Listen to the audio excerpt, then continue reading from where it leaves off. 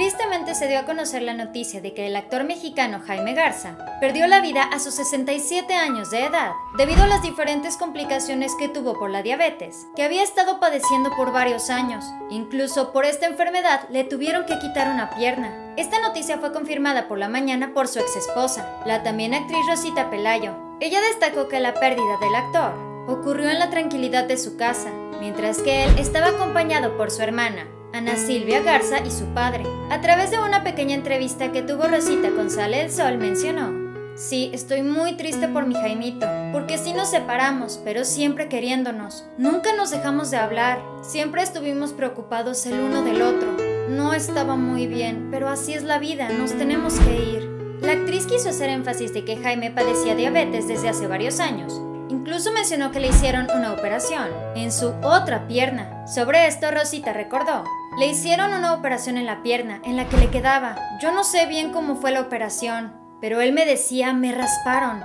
No sé qué tanto le hicieron, pero sí me contó que fue fuertísima, ya que me decía, me duele horrible, no sabes lo horrible que me duele la pierna. Jaime Garza tuvo una gran trayectoria artística. Él incursionó en el cine, en el teatro y en la televisión. Su última participación fue en el 2017, en la telenovela El Bien Amado, pero él siempre será recordado en sus producciones, como Cachún Cachún Ra Ra, como Dios manda, simplemente María, el vuelo del águila, Salomé, Vivan los niños y muchas más. El actor fue considerado un gran galán en su época y también tuvo un muy amplio historial amoroso, pero fue el noviazgo que sostuvo. Con Viridiana a la triste lo marcó de por vida. A ella incluso la había calificado como su gran amor, pero tristemente la hija de Silvia Pinal tuvo un percance automovilístico en 1982. El amor entre ambos surgió cuando estaban participando en Cachún Cachún Rara. El programa simulaba una prepa y fue propicio para que ambos iniciaran una relación. Una tarde la pareja organizó una fiesta en el departamento que Jaime tenía. De acuerdo a lo que había contado el actor en el 2017, Viridiana se salió de esa fiesta a altas horas de la noche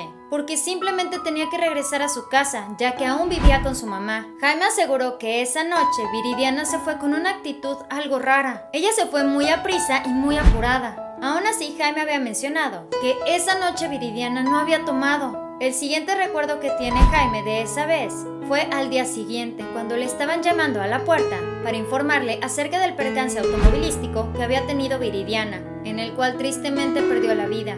Este fue el Muro de la Fama. Dale like a este video, suscríbete y síguenos en Facebook. Pero antes de que te vayas, checa este video. Espero que tengas un excelente día. Nos vemos muy pronto.